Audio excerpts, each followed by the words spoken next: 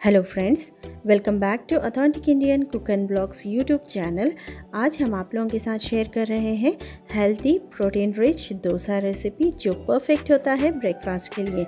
इसके साथ हम बनाएँगे आलू करी और रॉ कोकोनट चटनी। मेरे रेसिपीज़ पसंद आते हो तो लाइक शेयर कीजिए, मेरे चैनल को सब्सक्राइब कीजिए बेल आइकॉन के साथ। अगर आप बेल को क्लिक करोगे तो मेरे वीडियोज़ की नोटिफिकेशन आप तक जल्दी पहुँचेगी। तो चलिए स्टार्ट करते हैं।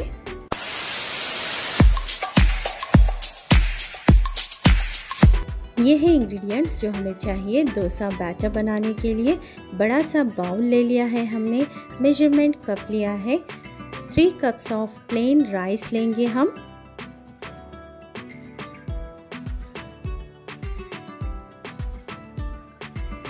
हाफ़ कप उड़द दाल लेंगे सेम मेज़रमेंट कप से, और वन बाई फोर्थ कप हम लेंगे तुअर दाल। वन बाई फोर्थ कप चना दाल। चना दाल ऐड करिएगा, डोसे का टेस्ट बहुत बढ़िया आएगा। ट्राई ज़रूर करिएगा फ्रेंड्स एक बार, इस तरह से डोसा बनाकर। अब हम सभी दालों को और राइस को two two three times water में अच्छे से वॉश करेंगे।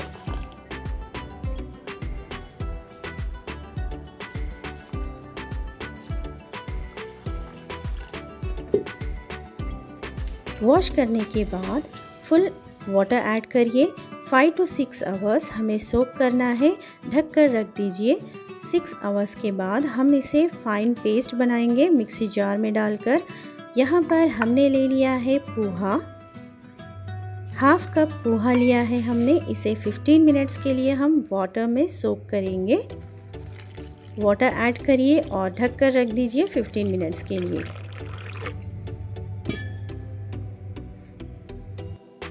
सिक्स आवर्स के बाद हमारे दाल और चावल अच्छे से सोख हो गए हैं। वाटर मैंने स्ट्रेन कर लिया है। अब इसे मिक्सी जार में डालकर फाइन पेस्ट बनाएँगे। थोड़ा सा वाटर ऐड करिए।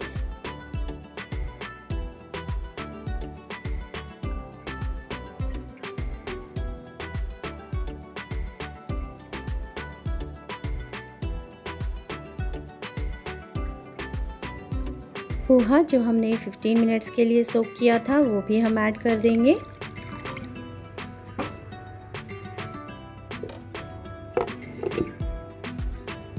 देखिए, इस तरह से मैंने फाइन पेस्ट बना लिया है, डोसा बैटर का। इसी तरह से हम सभी दाल को थोड़े थोड़ा डालकर फाइन पेस्ट बनाएँगे।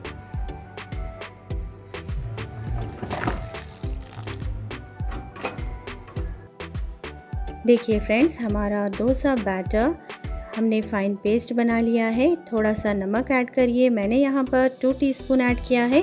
आप अपने टेस्ट के अकॉर्डिंग भी ऐड कर सकते हो। मिक्स करिए। अब हम इसे ढककर रख देंगे ओवरनाइट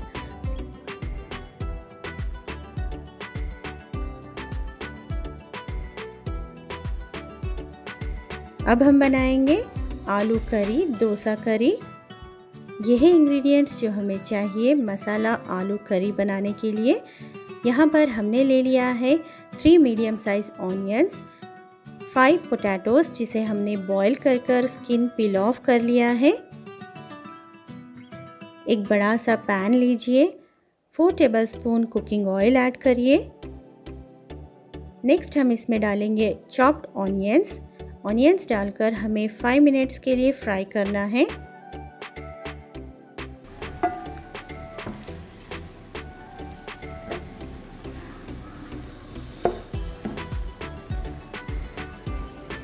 फाइव मिनट्स फ्राई करने के बाद हल्का सा ब्राउन होने के बाद ऑनियंस हम ऐड करेंगे हाफ़ टी स्पून हल्दी powder half teaspoon fresh ginger and garlic paste भुनिएगा two minutes के लिए।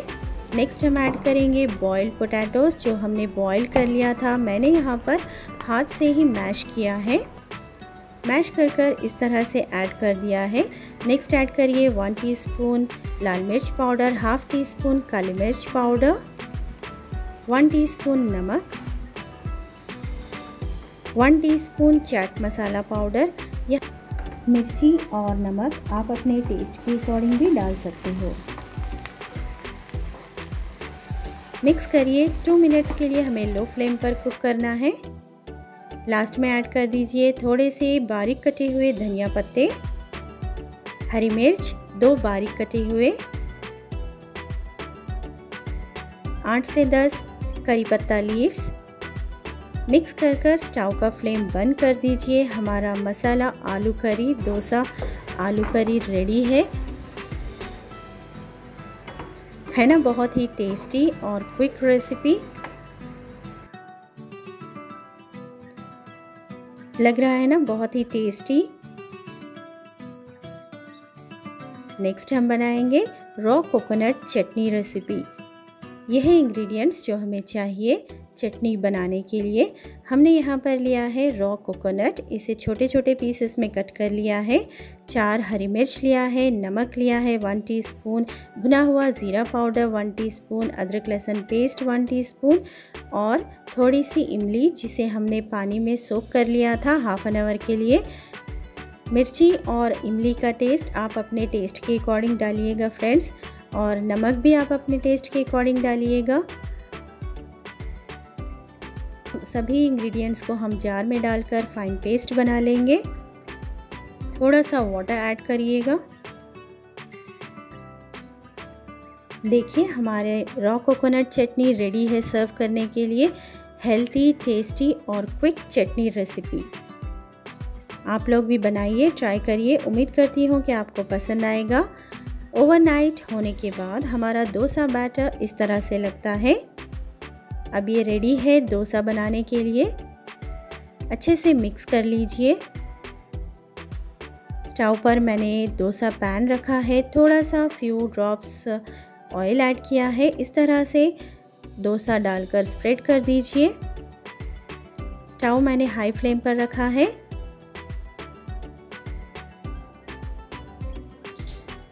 Thirty seconds to one minute के बाद वन साइड हमारा डोसा कुक हो गया है, इसे फ्लिप कर कर टर्न कर लीजिए। बहुत ही ब्यूटीफुल कलर लग रहा है ना?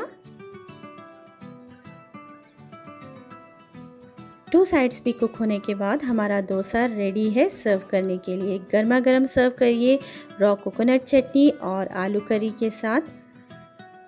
है ना? बहुत ही टेस्टी और हेल्थी ब्रेकफास्ट रेसिपी फ्रेंड्स मेरे रेसिपीज़ अगर आप लोगों को पसंद आते हो तो लाइक शेयर ज़रूर करिएगा।